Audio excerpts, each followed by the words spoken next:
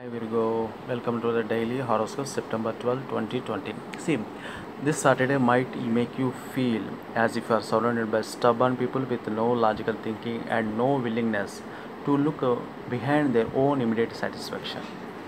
For some natives, this might uh, mean uh, dealing with young people, their families, while for others, it might have to do with having to work in a project with their friends. So, this is about Leo for September 12, and we'll get back with the September 13 and subscribe me.